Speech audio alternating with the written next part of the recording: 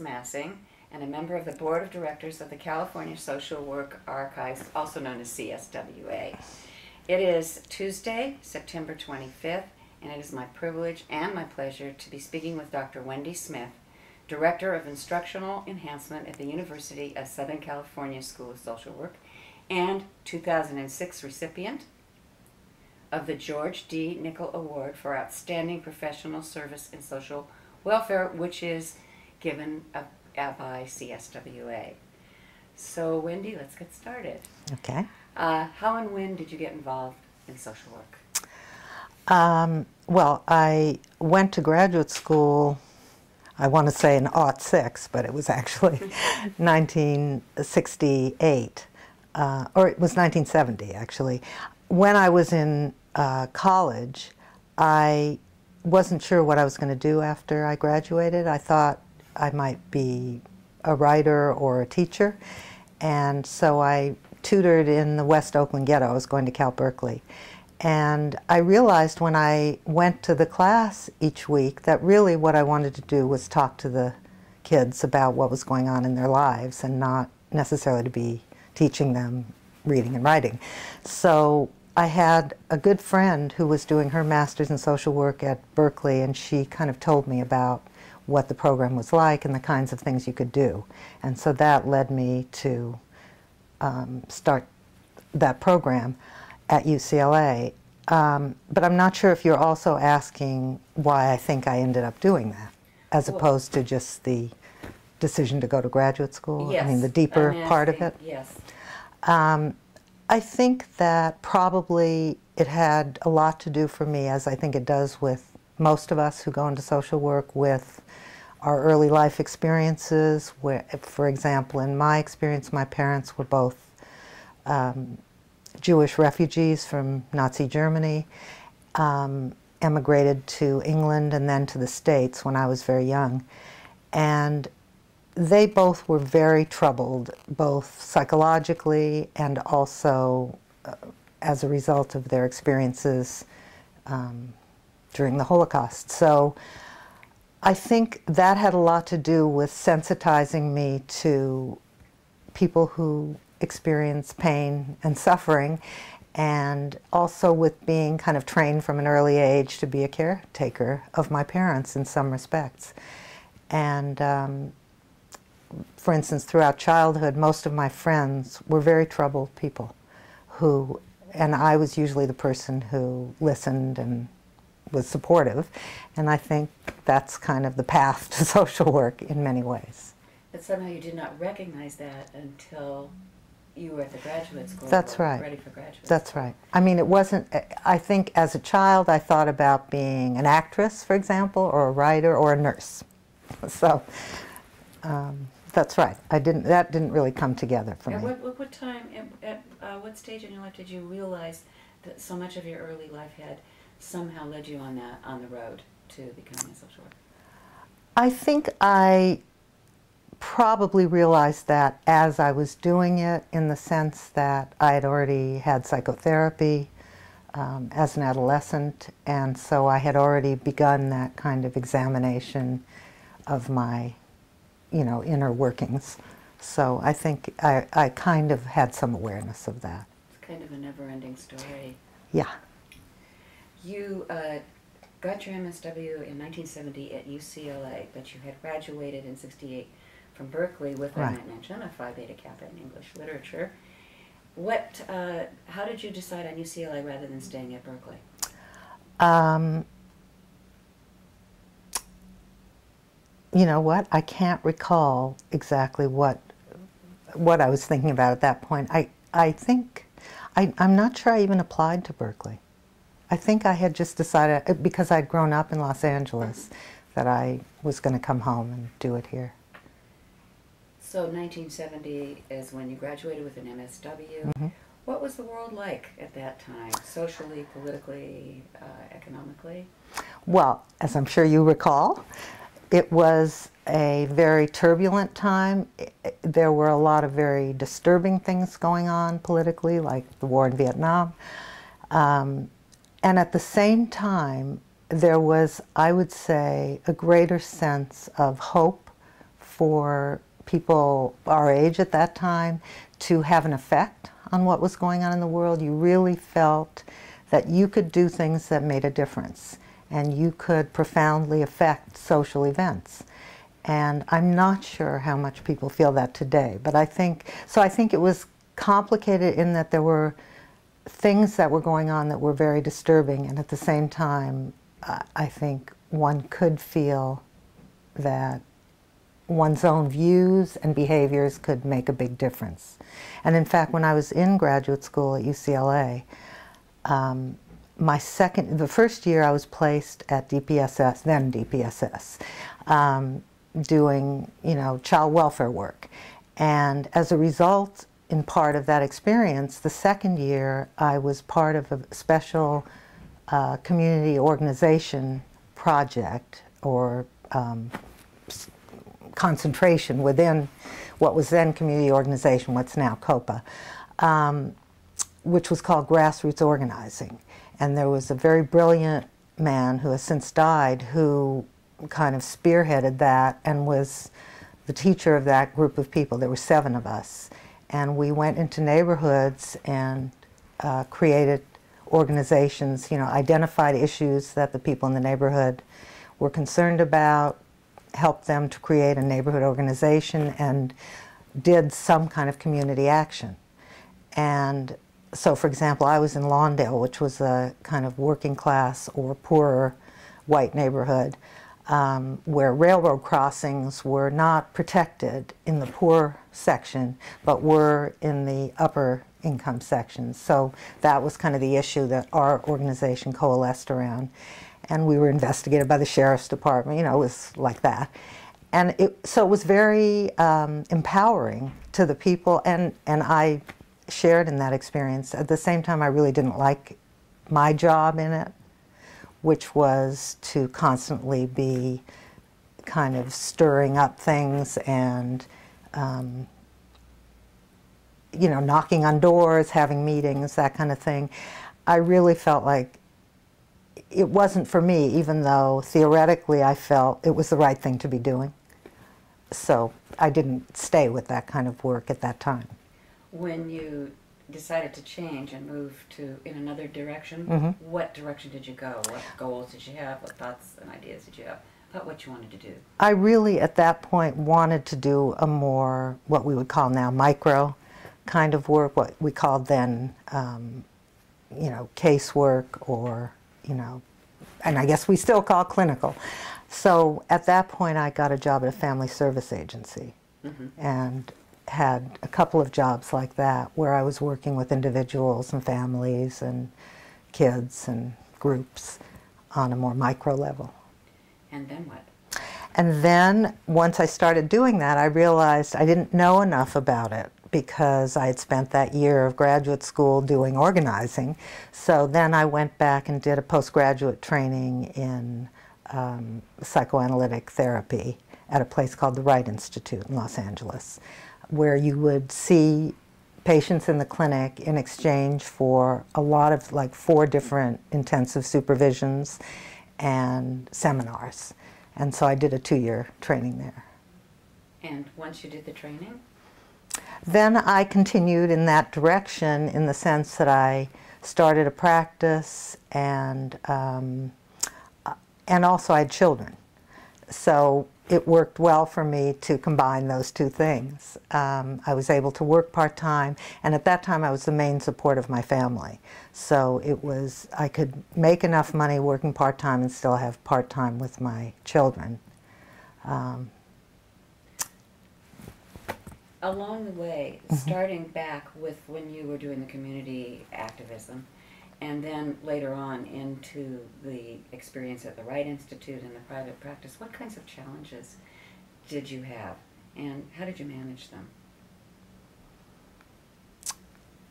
I think probably my biggest challenge overall, and now I'm seeing it less as a challenge and more as a kind of strength, is that I've oh, I've never felt in any situation that I've been in that I really actually fitted in.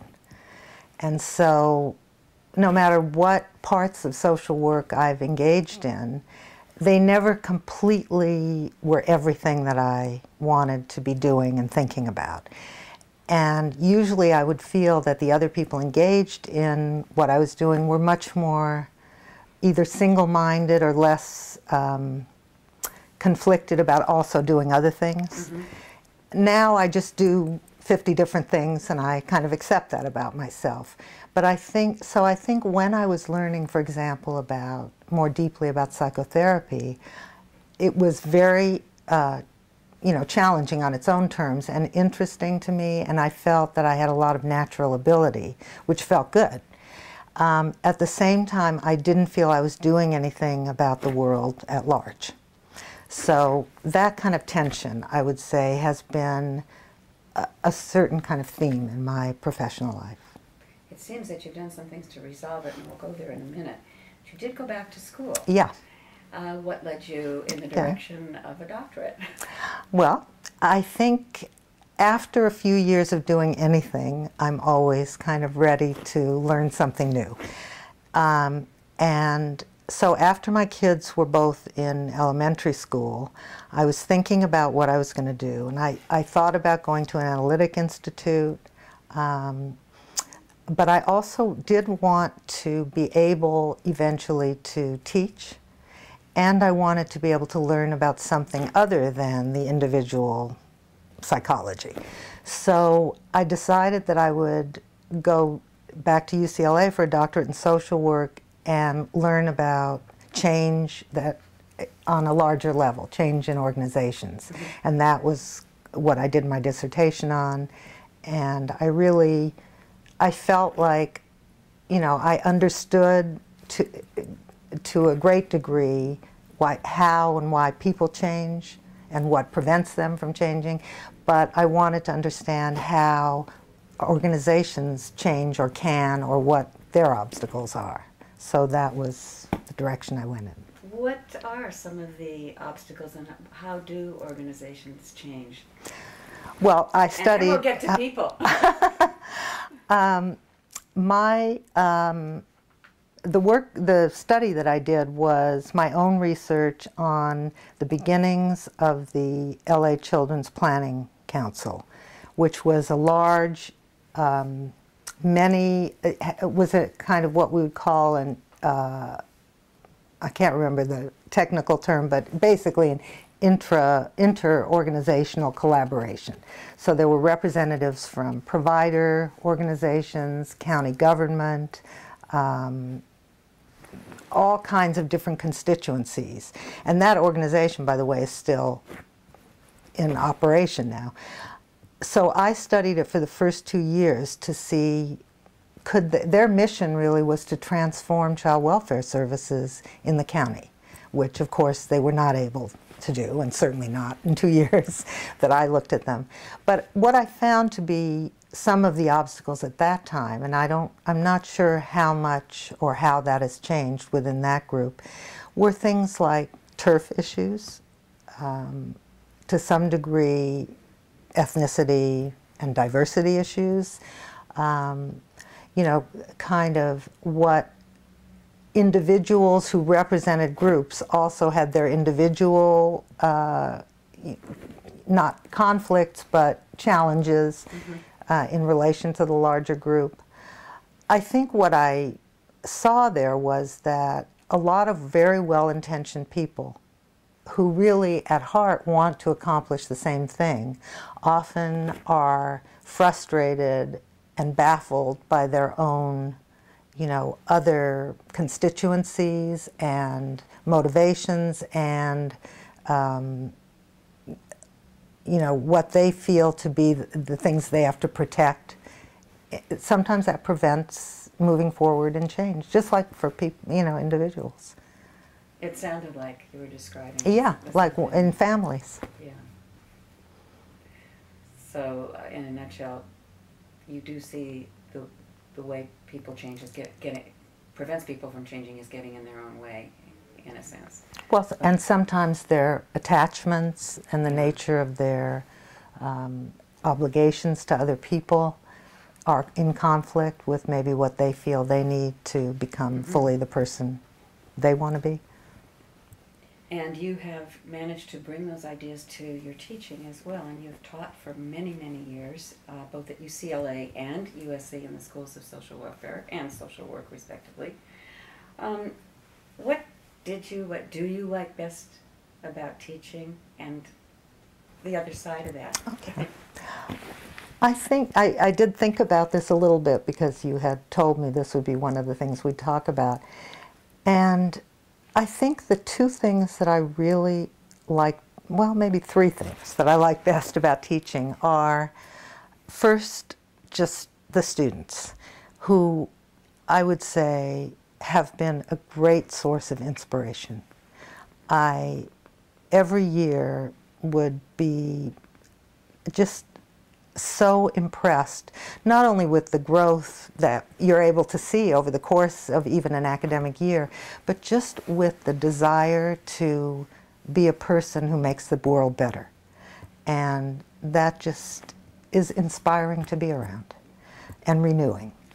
Um, secondly, I think I really have learned a lot since I've been teaching you have to, as you very, you know, know really well, Phyllis, because we used to talk about that all the time, you're constantly having to learn.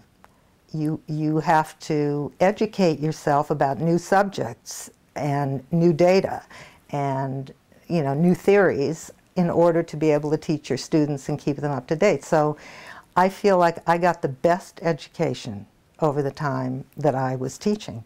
I mean, I know so much more now than I knew when I started. So that's the second thing. And, and the third thing is that for me, especially as someone who had spent a lot of um, professional life in private practice, the association with colleagues and the working together on, you know, projects of, you know, importance to us all and especially where it comes to education, really feeling the experience of working with other people to improve education, to make it meaningful, um, and to change the world that way because you're affecting the students who will mm-hmm. go on to work outside. So, are you ready to talk about what you like least about teaching? Yes, I, that's easy. Um, because I think the thing I like least about it is probably the thing most people like least about it, which is grading. Um, I think that it's, I don't like it least when it's a student who's doing just wonderful work, because obviously it's a pleasure to just simply recognize that. But I think that the whole business of kind of trying to evaluate work and what kind of standards to use and how difficult that is and how unfailingly subjective it inevitably is because we're looking at it through our own eyes. I think that part I could easily discard. Do you think there's another way to do that? To appreciate, acknowledge students uh, and still comply with the necessity of somehow ranking them, or is it a necessity? You know, again, I think what's difficult about it is there are some values in it that are probably important, like, you know, being able to recognize really good work and good thinking and conscientious effort. And being able to recognize when someone either isn't making much of an effort or is really having difficulty. I, am not sure what the best way to do that is. It probably isn't A, B, C, D. You recently retired from your teaching. I, we have to say retired, in quotes. Just from teaching for the moment. Yes. Uh, and what made you decide to do that? How did you reach that decision? Um, the way I reached that decision was that over the last few years, I had taken on more and more at the school. So that in addition to teaching, I was doing a lot of committee work. I was chairing the Families and Children Concentration. And, you know, one of my problems really is that I've never heard about a project that wasn't interesting to me. So therefore, it, it's difficult for me to say no to things. And so consequently, I said yes to a lot of things. And I was really working very, very hard. And in the last, I guess, in the last year, year and a half that I taught, it, it had become just a joke among my family and everybody else that I knew. And I, I really felt like my whole life was work. At the same time, um, someone close to me had um, been diagnosed with cancer. And as I think that inevitably does, you reevaluate how are you spending your time. Is this, if you didn't have much, is this how you would want it to be?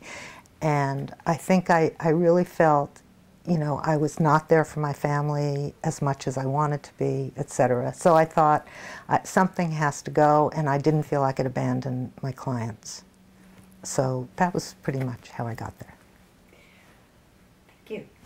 Speaking of your clients, you are a practitioner, you have a private practice, and uh, you've also taught, taught theories. Uh, among them uh, is the concept of evidence-based practice. What do you, um, well, how would you describe that? Uh, what is your assessment of evidence-based practice? Okay. I'm not sure I can answer that question just as put because I don't really have an assessment of evidence-based practice on the face of it. I think that the intention of evidence-based practice is a good one and an important one in that we want to try to understand what does really help people to change so that we can replicate it and do it and we want to know when something we're doing really isn't having the effect that we think it is or that we want it to have. So I think it's, it's very important to try to understand the evidence of our work. What, what is it really doing?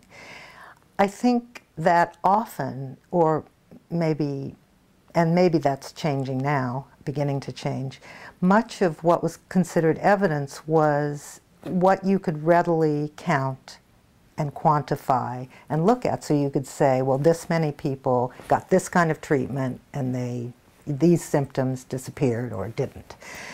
Unfortunately, a lot of what goes on in you know therapy and treatment, as we know, is less articulatable in that way and less countable and sometimes even maybe a little more mysterious and also has a lot to do with relationship. So these things are very hard to measure in, in numbers.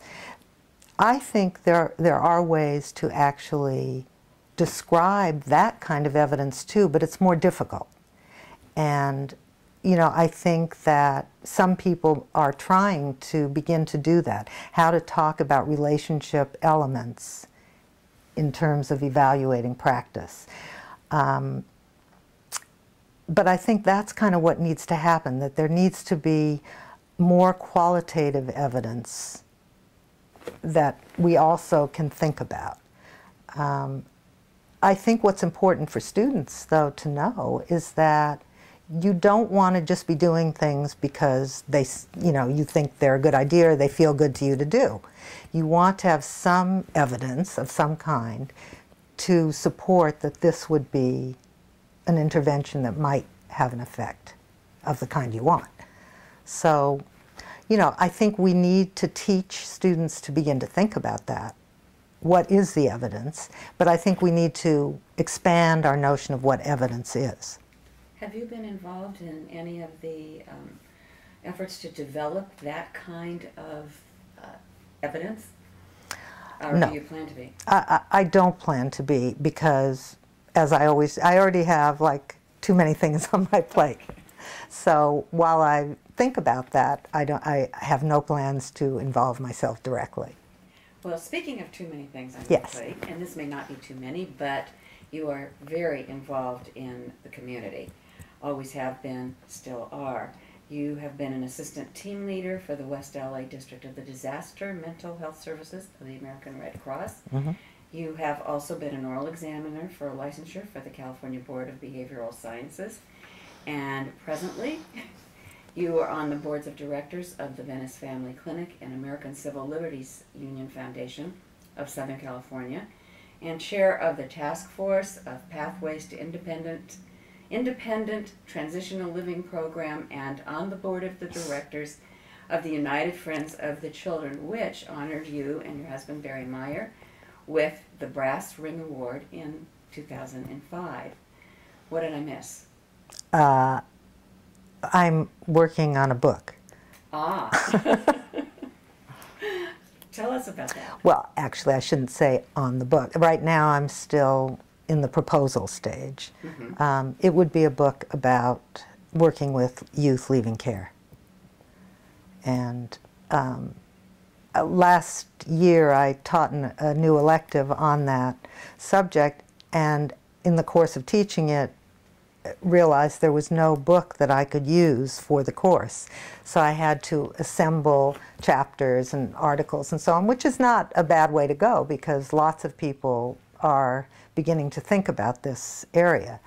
But it occurred to me that it would be very useful to have a book that kind of incorporates what we have always been taught in our field, the biopsychosocial aspects of kids in this situation, so that we'd look some at early development and how that's affected by adverse early experiences, attachment relationships, but also at the policies and legislations that affect youth and at their developmental, adolescent, uh, particular challenges, etc. So that's what I'm kind of trying to begin to think about, and that's Well, lots of your experience has been with the, that transition of leaving care. right. And you have been involved in both those organizations, Pathways to Independence, uh, Transitional Living, and the United Friends of the Mhm. Children. Were you, um, when did you become uh, active in United Friends of the Children, and in what capacity? Um, in about 2000, uh, Nancy Daly Riordan, who was the founder of the organization, and a couple of other um, members of the board recruited me actually, um, particularly to, because they had just decided to become providers of a transitional living program. And so they wanted me to be involved with the design and implementation of that program, which they were just beginning to think about. So that was kind of how I became involved. How um, did they find you? Well, I think that's a situation where having a husband who's visible in the community um, led them to find me. Um, I don't, I'm not sure they would have found me if I was just, you know, another social worker in the community, even though that person may have been equally as valuable, in fact. And how have you found working in those program, in, in the programs? Well, that's been, again, a tremendous education and um, very, I think it's very important work. I think these are young, I've always been interested in the foster care system and kids in it in the sense that, you know, if you want to talk about being a disenfranchised population, you know, you can't be more disenfranchised than not have a family who cares for you. And so I think that those are people that need the support of society, and so it's always been of interest to me. What made you um, find that as an interest? How did you? I mean, there were a lot of things, and a lot of disenfranchised populations. How did you get to that particular one? I'm sure it has to do with my own certain feelings from early childhood, which I don't think I'm going to really go into. But But yeah, I think you don't just get there by accident. So, sorry. you didn't know this was going to be a whole psychoanalytic. session. Well, I, no, I didn't. well, then it won't be. We didn't tell you. Uh, you've been in the field a long time, 38 years. If I can count. It's horrifying. I never think about it that way. Uh, what changes have you seen in the field, um, both positive and negative? And how do you, uh, what do you think is in the future for the profession of social work? And I'm going to throw something else in here as well. What about the School of Social, social Work right here at USC? You have a. Um,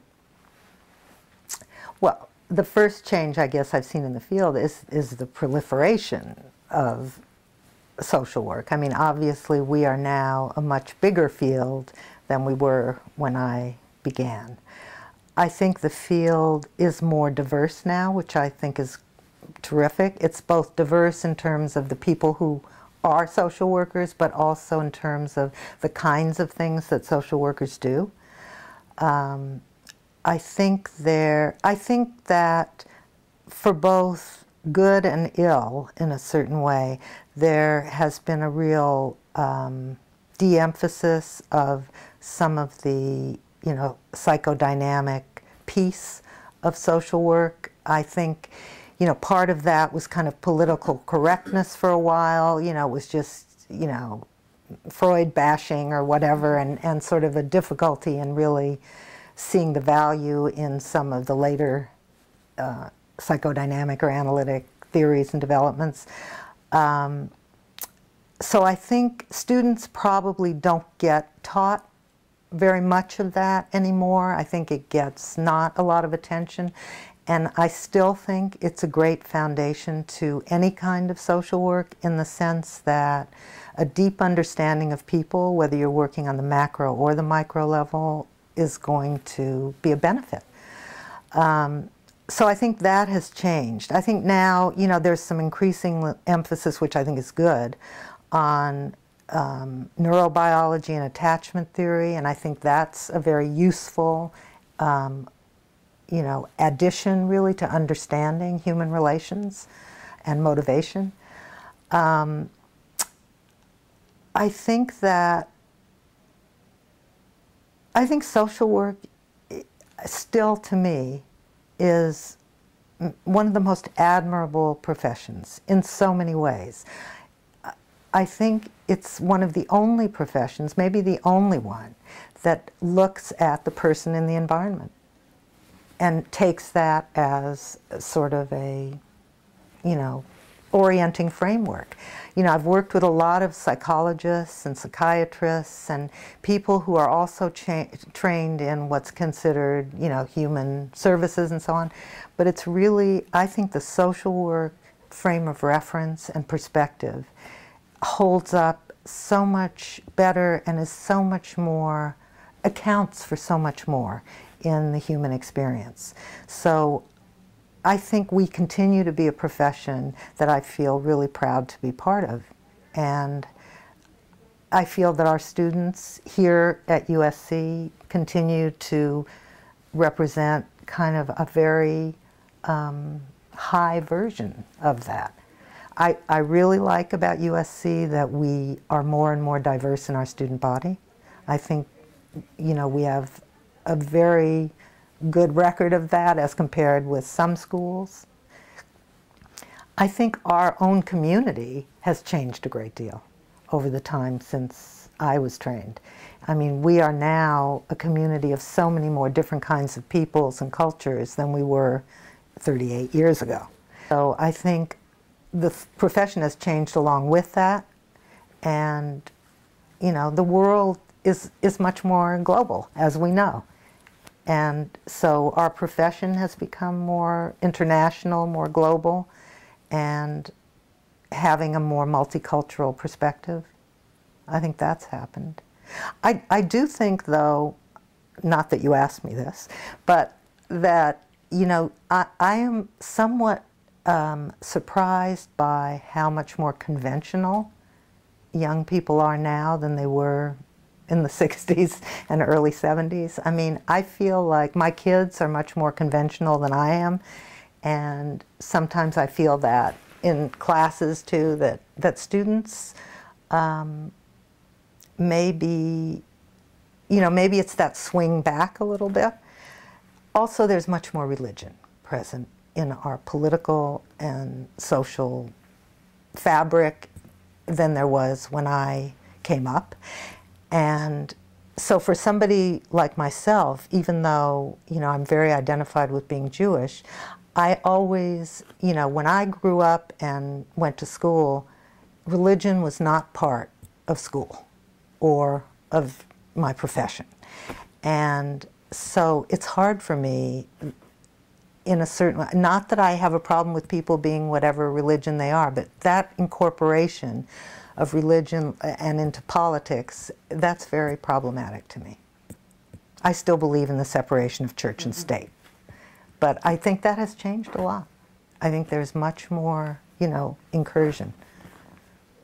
How do you see the, um, well, our profession and the school, just certainly um, contributing to the profession, um, managing with That. that? Yeah. You know, I think that there's an attempt to kind of be open to what students want to explore and bring and learn about, and I think that needs to be the case. I think that, uh, you know, I guess in a way I'm not sure about the answer to that question because I'm so much a product of my own training and experience that I probably am less open to that than someone who was trained later. Um, you know, I'm certainly aware, for example, with clients, I mean, it's not that there aren't situations where religion doesn't come up and we don't talk about it and it has different meanings to people that I, for instance, some people who, somebody I saw who was a devout Catholic kind of liked the fact that I was Jewish and had a religion um, even though that might not, we weren't necessarily talking about that. Um, so I, I think it does play a part in everything we do, but I think how we relate to it as professionals, I feel I'm not the best person to respond to that, I guess is what I'd say. When you did respond to the, the um, idea that the school and the profession is adapt is adapting, has adapted, and will continue to adapt to changes in the environment, in the social and Mhm. cultural environment, which is a pretty positive statement. hmm Wendy, what has been for you so far, and I think this is a hard question, uh, the most fun, the most gratifying, one of each, Let's do it In, the other way. in life or in my work? in your work? And if you'd like to say no, that's fine. Um, the most gratifying. So far. I don't think I could just pick one thing because I think that work with clients and teaching students and actually working on things with other faculty colleagues have all been extremely gratifying. Extremely. And the fun part, let's see. Well, I wouldn't say working with clients is fun, um, but it's not supposed to be. It may have its fun moments. Um, what's been the most fun? I think teaching has been the most fun. You know, especially when it's some area that I particularly feel very interested in and that I have a lot to offer about. That's been really fun. Is there anything that you could say, you could identify um, as the most successful activity involvement that you've had over the years, and again so far?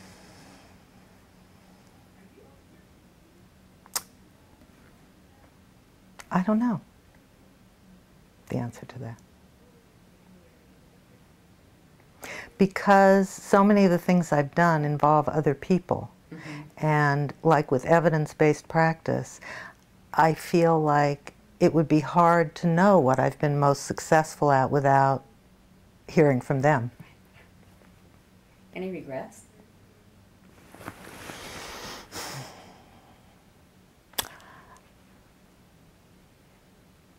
I regret not being a, a doctor, medical doctor. I regret not being a lawyer. I kind of would like to be everything. You know what I mean? I would have liked to learn medicine. I would have liked to learn law, and I feel like you could do a lot of things with all those things in social work. So, and the other thing I think about regret, though, is that you can't really regret anything you've done. I mean, unless you've really hurt somebody, you could certainly regret that. But in terms of like professional choices and things, because they kind of make you who you are now. So you couldn't really take them away. Thank you. What suggestions would you make to someone starting out in the field today?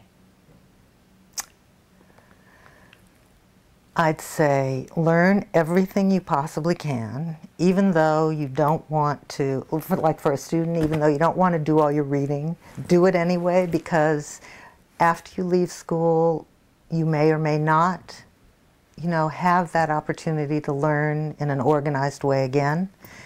Um, I'd say, again, starting out in the profession, you should, you know, walk through doors that are open and try what's on the other side and not think that your first job is your last job, it's just your first job and you know that, that life is a journey and there'll be a lot of twists and turns and they'll all add to what you have to bring to the next activity or the next job. Thank you. I wish I'd known you when I started out. um, you and your husband Barry uh, have been very generous supporters of the USC School of Social Work with very specific gifts. Could you describe these? Sure. Um, the first major gift that we made was to endow a scholarship for um, a social work student um, because we know how expensive it is to go to school here. And I, and now he, because I've converted him, are very, um, you know, committed to the profession of social work and the need for um, social workers. And the, the particular nature of the scholarship is that it would be awarded to somebody who had an interest in foster youth or former foster youth. That they would go on maybe to do that kind of work, um, and it would enable them to manage their tuition more easily. Um, the other major gift we made after um, and in honor of Frances Caple. After she left the school, I wanted, well, I wanted to make a book fund available and I wanted to do something that honored her contribution to the profession and to the school. So we also endowed the Frances Caple Book Fund, which every year gives out a, an amount of money to about 10 or, and eventually that'll be more, students to help them buy books. Oh, thank you. I have no more questions for you. Oh, yes, I do. Another question. How do you visualize your involvement in the field in the future? I visualize it, I mean, I visualize it as just kind of continuing forward. Um, so I guess that's to say, uh, I'll continue to be involved at the school, both as, you know, what I'm currently doing, which is kind of mentorship to new faculty and continuing faculty if they would like. Um, and, excuse me, on the Board of Counselors. And um, my private practice, I'll continue with my work with foster and former foster youth and Venice Family Clinic, where I work with their mental health service. Um, and then, you know, 10 other things will happen and come my way. And, you know, hopefully I'll be able to, like, let things go. That'll be my challenge for the next 10 years how to let things go so that new things have space. Wonderful. Would you like to add anything?